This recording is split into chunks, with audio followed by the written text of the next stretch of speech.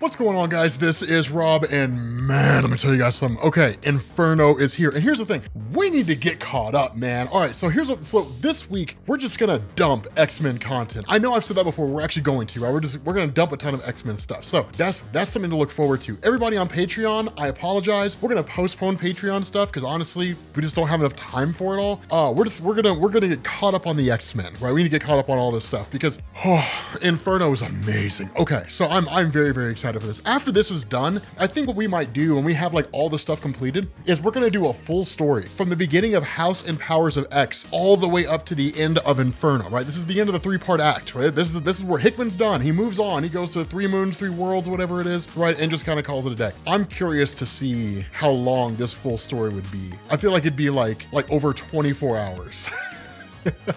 I have no idea if that'd be the case or not. But what this does is this initially opens up with the Orchis Forge, right? Now remember, the Orchis Forge, because it's been a while since we talked about this, the Orchis Forge is the headquarters of essentially Orchis itself. And Orchis is a coming together of a multifaceted group of people, right? Like advanced idea mechanics, Hydra, just the government in general, right? Like just normal human scientists, all these people working together for the purpose of what is in effect destroying the human threat. And what this does is it focuses on what is basically the X-Force team, Wolverine, Domino, uh, Kid Omega, right? Quentin Quire. These guys are highly capable. And as they get in there, they're immediately met by the arrival of, of Nimrod, right? Now, this is one of the most important things about the character of Nimrod. We talked about it before, but it bears refreshing here, right? Nimrod has the ability to analyze a mutant, to know what their powers are, and then develop basically counters to their powers. So in the case of Domino, Domino has the ability to bend probability to her favor in a localized field. So what does Nimrod do? He says, solution,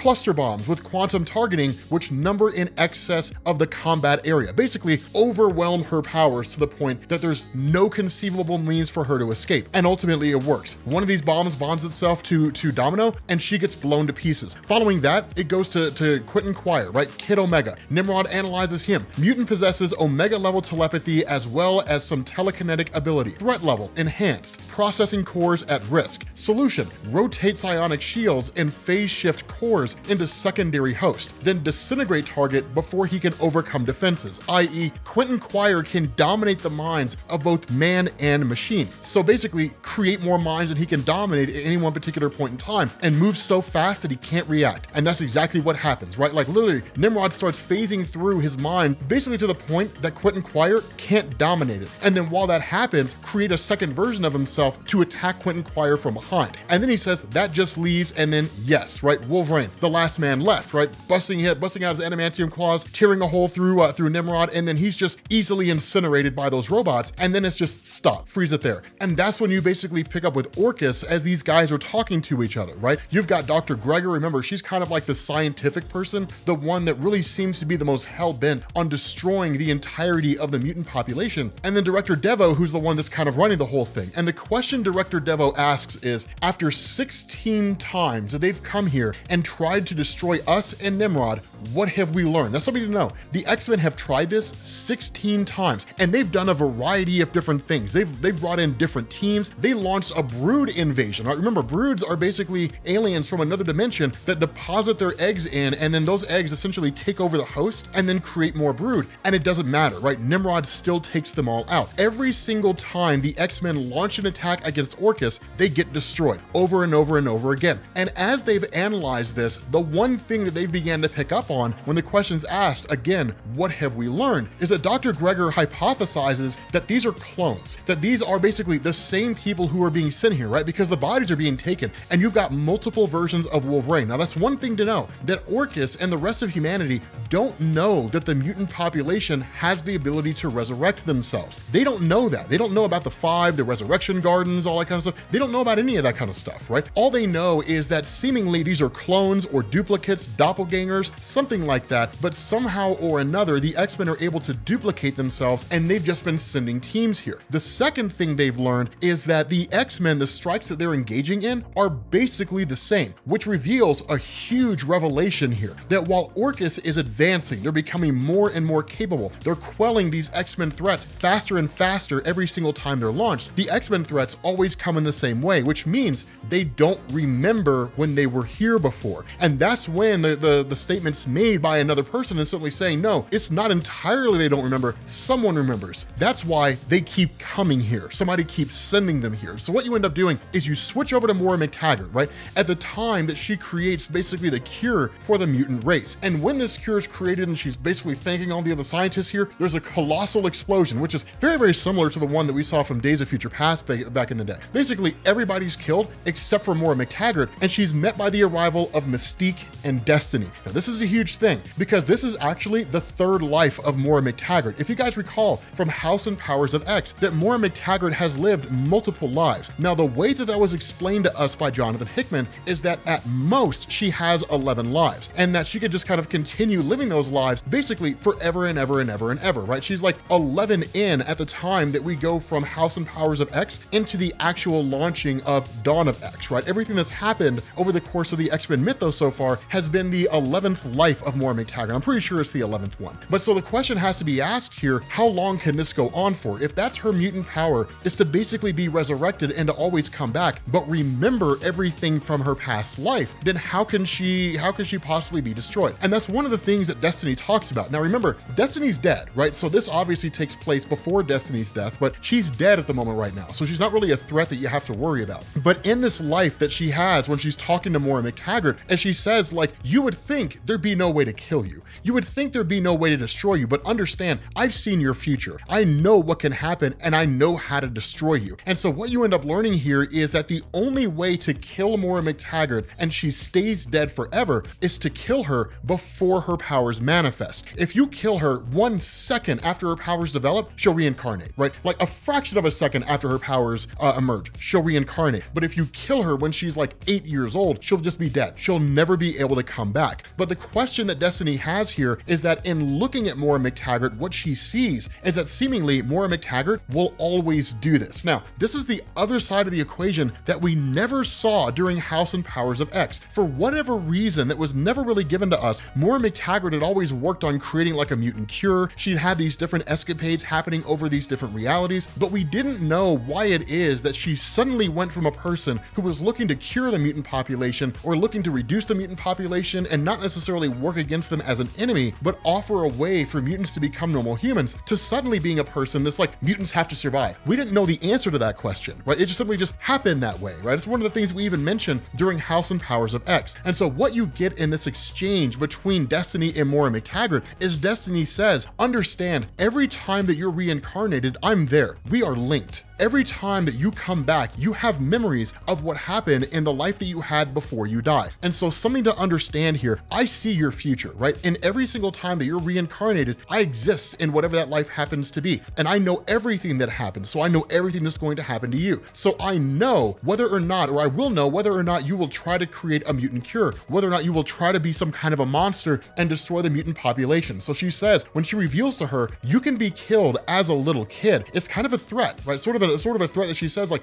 we know how to destroy you. We know how to make sure that you can never reincarnate, you can never come back to life, you can never enjoy this process of living out an infinite number of lives in an infinite number of ways, just going on forever and ever and ever until the universe dies of heat death. And so she says, if you ever, over the course of these lives that you live, however many times that you die, if you ever become the person that creates a formula that will find some way to destroy the mutant population, if you ally yourselves with people who will destroy the mutant population, if you do any anything other than help us thrive, I will be there and we will kill you. And we will kill you however many times we need to. It doesn't matter. So she says, change, right? Become a person that helps the mutant population grow and thrive, especially because you and I both know that this, this existence of the mutant population will inevitably always lead to a war with machines or with man or a combination of both. Because she says, do you really believe that humanity will just let you have this formula, right? That you will have this formula out there to cure the mutant population, and humanity will say, okay, cool. Well, we'll just let the mutants that want to stay mutants, we'll let them kind of continue doing that. And those mutants who want to become human or want to lose their powers, we'll let them do that too. No, humanity will take that cure from you, they'll weaponize it, and they'll use it to get rid of the mutant population. So she says, as long as you are out there as a person that's doing this, you are an existential threat to the mutant population's entire existence. And so when the question becomes, how do we ensure that you are that kind of person? How do we make sure that you know to never work against the mutant population lest you die in a horrifying way? The response that Mystique gives is, I think the answer is fear. And so Destiny says, perhaps. There's only one way to find out. And so what she does is she summons Pyro, right? Remember, Pyro is a mutant that has the ability to manipulate fire. He cannot create it, but he can control it. And she tells Pyro, kill Moira MacTaggert, burn her, but do it slowly so she never forgets what changing feels like, right? Make sure she suffers slowly and painfully. That was Moira's third life. Now it goes into Moira's 10th life, right? The current one that we're seemingly in right now. So I guess it's really this one as opposed to the 11th life. But the important thing here is that as we kind of continue on, we switch over to Moira's no place, right? Moira MacTaggert. You switch over to the no place, the place that she exists in, in Krakoa, where seemingly nobody can get to where she is, right? It's basically underwater, right? Where nobody would really know that it's there. Nobody would know how to access it. But when she arrives through her Krakoan gate, she's met by the arrival of Charles Xavier and Magneto. Now, here's a very, very important distinction and set of events that unfold here. That one of the things that was kind of given to us is that as the X-Men mythos exists right now by way of House and Powers of X, it's all predicated on the idea that at some point in the future, there will always be a war between the mutant population and seemingly everybody else. Either it'll be post-humans, right? So those individuals, those children of the vault that we've talked about before in the X-Men mythos, or it'll be humanity,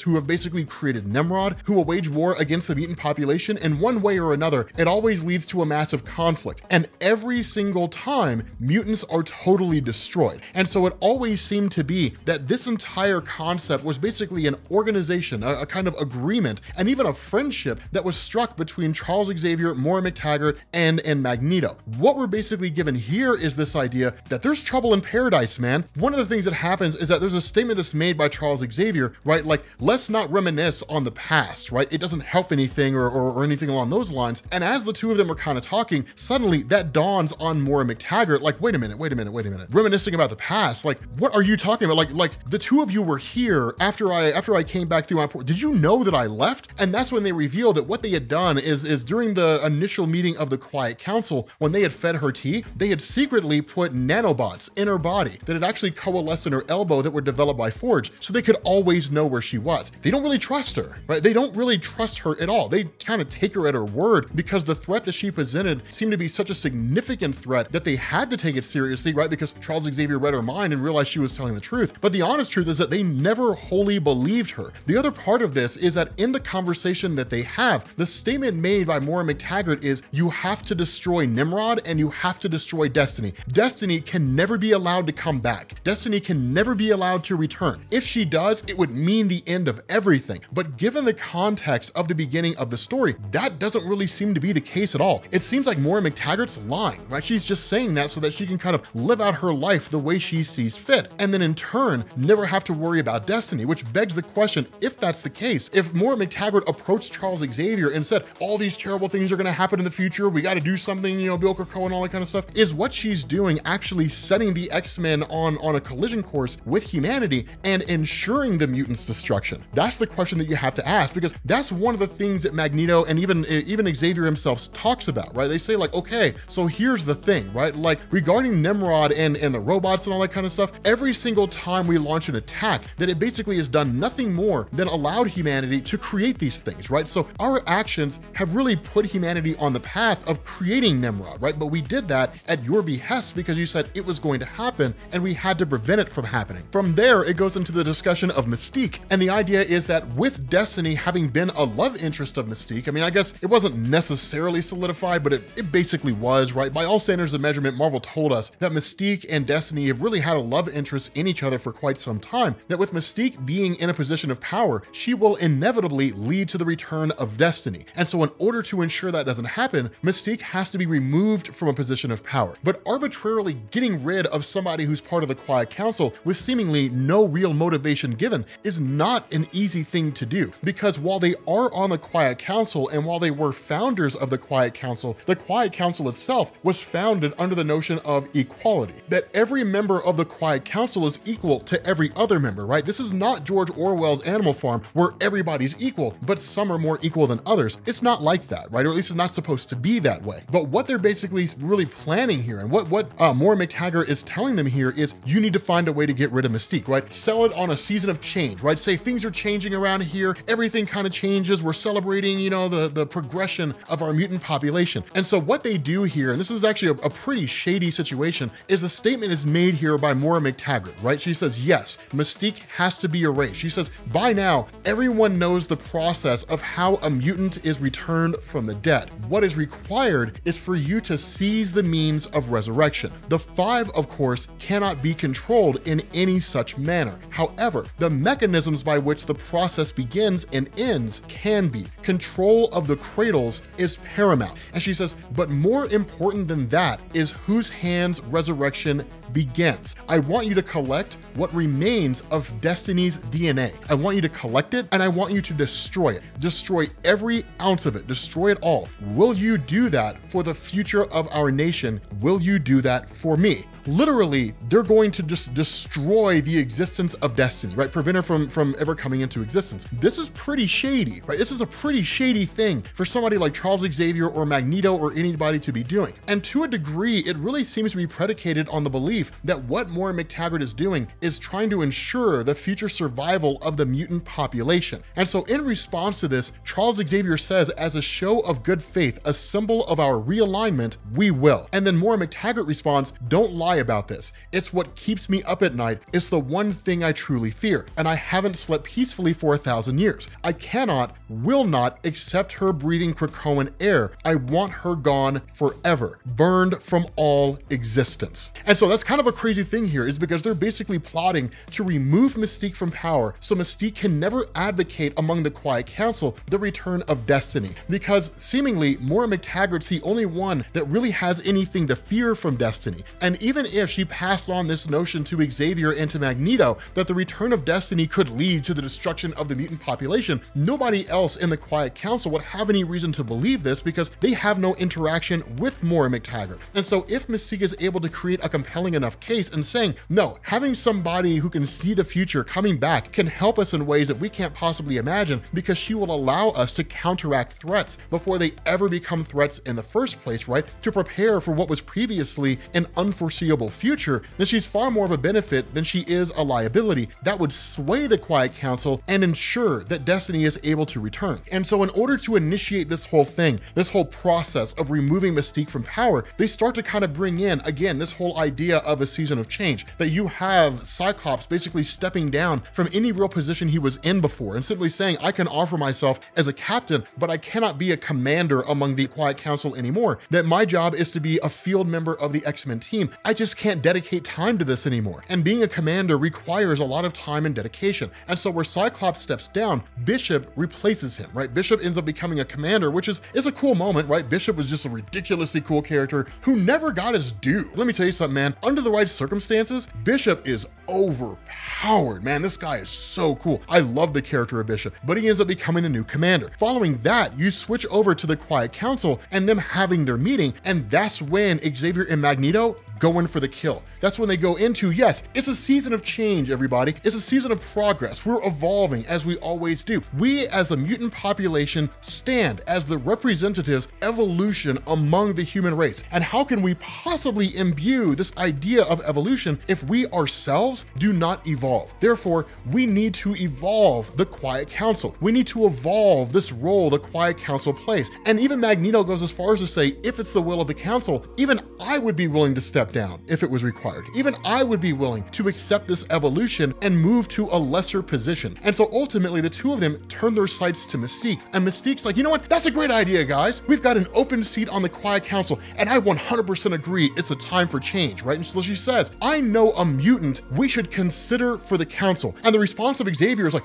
what? And then Magneto tries to cut her off and says, there'll be a time for that, but as a member of the Quiet Council, she can call a vote on anything anytime she wants to, so long as the rest of the council will let her. And she says, the time is now. The time for this, for, for the calling of this meeting is now. I offer a candidate for this council who sits in dominion of the mutant island of Krakoa. Come forth, mutant. And that's when you get that line. That's when you get that phrase that was told to Mystique. There will be an island, not the first, but the last. This place will seem to be hope for our kind. When those days come, remember these words bring me back. And if you cannot, if they will not, then burn the place to the ground. And that's when we end up learning the person summoned here to the Quiet Council by Mystique is none other than Destiny, fully resurrected. With that being said, guys, we're gonna bring this video to an end. Thank you guys for watching, and I will catch you all later. Peace.